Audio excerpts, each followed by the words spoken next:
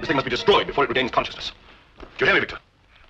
What, Paul, what did you say? You must destroy this thing now. Paul, don't you see? I've succeeded. Succeeded, yes, nearly succeeded in getting yourself killed. Another ten seconds. This you is my creation. Yes, a criminal lunatic. He tried to kill you.